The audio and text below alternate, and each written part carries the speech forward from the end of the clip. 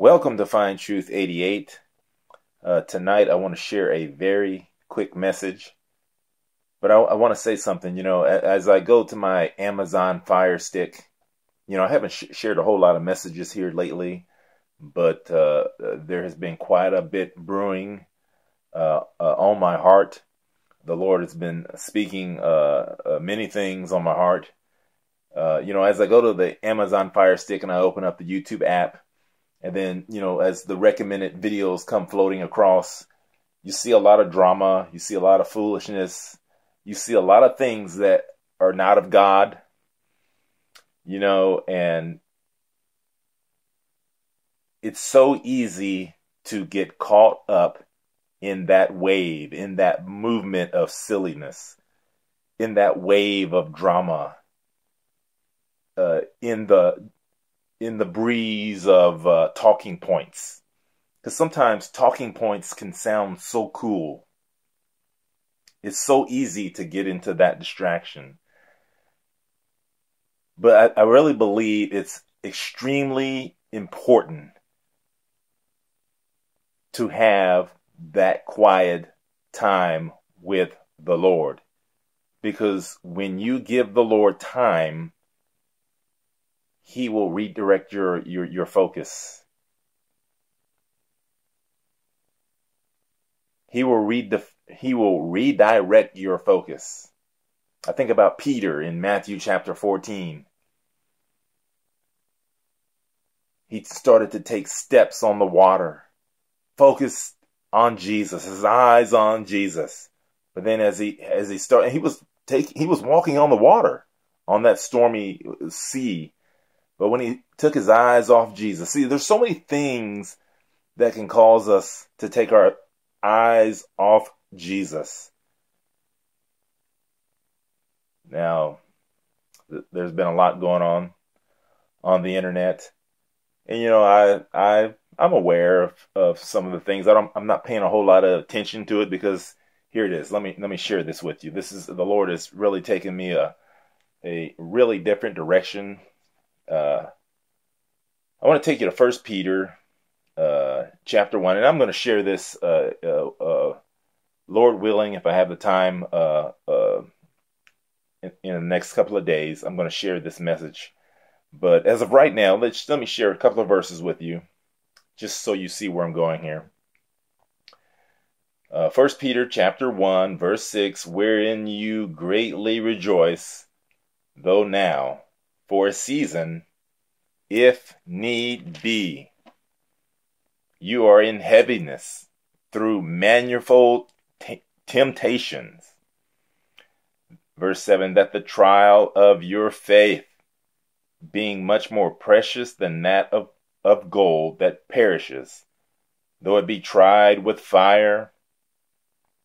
Are, are there any of you out there who feel like you're going through the fire?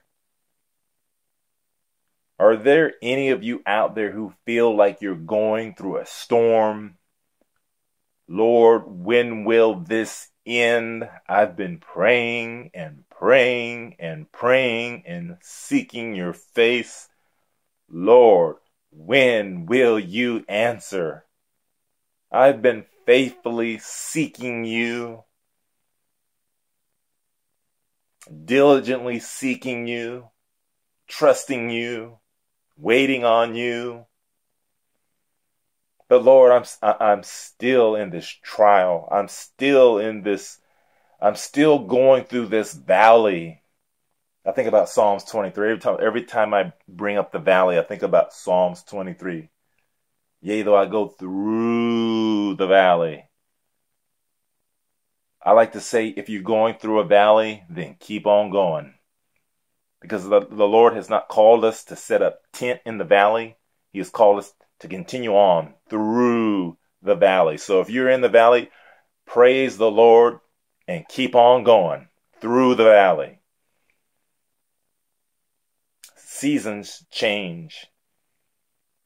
Yes, it rains on the just and the unjust, but seasons change. Let me continue on here in 1 Peter chapter 1 verse 7 that the trial of your faith being much more precious than that of gold that perishes, that your your faith to the Lord is is much more precious than that of gold. Hmm.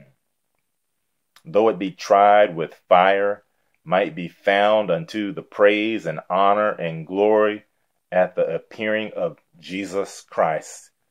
You know, when I read that, I think about Luke 18 8. And keep it keep Luke 18 8 in context with verses 1 through 7, 1 through 8. That that widowed woman, that persistent woman who refused to give in, who refused to give up, that, that unjust ju- the unjust judge kept giving her that no and no, no, I will not avenge you of your of your adversary. No, go away, woman. She kept on coming back. Finally this unjust judge just to get this woman off of off of his back. He said that th- this woman will, will weary me by her continual coming. And Jesus making a point here how much more will our just Heavenly Father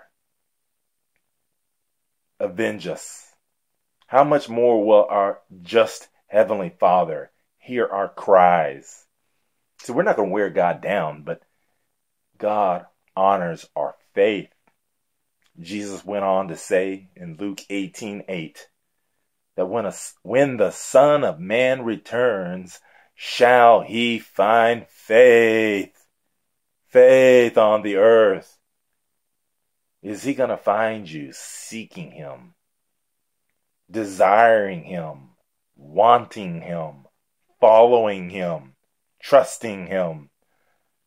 I think about Psalms chapter 1, verse 1, verse 2, verse 3. Blessed is the man who trusts who trusts in the Lord. Look that up. Look, look, look that passage up. I'm not going to read it right now. I, I, I, will probably go into that maybe in a couple of days. But also, I want to take you to, uh, as I end the message, I want to take you to Psalms chapter 40. I'm going to read a few verses here. And again, I'll end the message with this. Psalms 40, verse 1. I'm going to read through verse 4 here. I waited patiently for the Lord. Oh, let me stop right there. I waited patiently for the Lord. You know, sometimes we got to, we got to, we just have to do some waiting and waiting and seeking and seeking. We got to dwell in the secret place. You know, what that secret place, you don't have that crowd hanging around, flapping their lips. In the secret place, you're not going with the flow. In the secret place, YouTube may be going this direction and talking about this and that and all the drama this and drama that and all the silly things that really you shouldn't be getting fooled by anyway. You know, many people on YouTube were talking about exposing these false teachers, exposing these beggars. You know, and then on my heart, it's like, well, maybe we should expose the followers of these people who make them popular.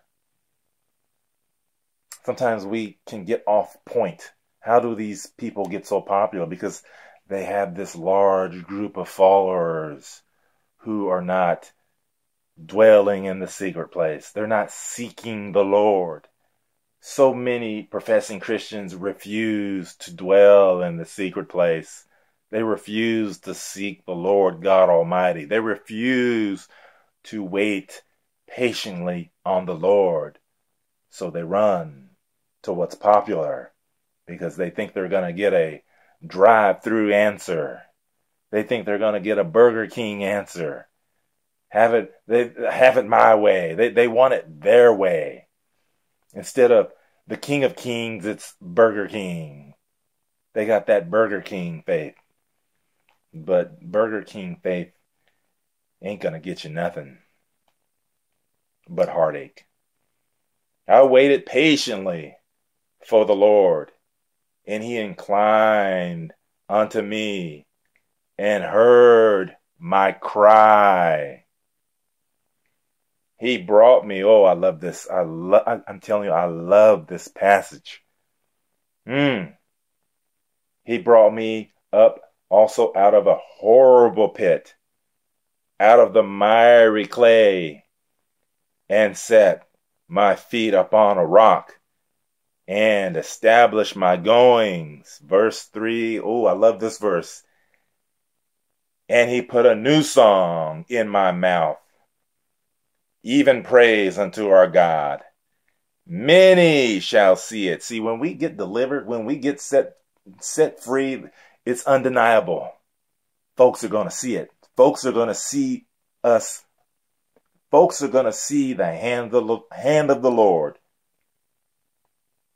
has moved in our life. They're, they're going to notice that the hand of God has moved in our life. Undeniably, many shall see it and fear and shall trust in the Lord. Verse 4 Blessed is the man that makes the Lord his trust, and respecteth not the proud, nor such as turn aside to lies. Well, that's my message uh, tonight. And in a couple of days, again, Lord willing, in a couple of days, I'm going to dig into this. So um, I encourage you just to kind of meditate in the secret place on these verses. Seek the Lord. Don't seek Marcus. Don't seek anyone else. Seek Jesus. Thank God for teachers. Thank God for those who point us to Jesus. But we must have a personal walk and relationship with the Lord Jesus Christ. Well, until then, I just pray that the grace, peace, and not just till then, but I just pray that the grace, peace, and love of our Lord Jesus Christ be with you day in and day out. That his angels be camped round about you. And that, that your feet won't even dash up against a stone. Blessed is the man who trusts in the Lord. Let that be you. Let that be us. A remnant rising up, refusing to follow the crowd anymore, but hungering the Lord Jesus Christ, the Lord God Almighty.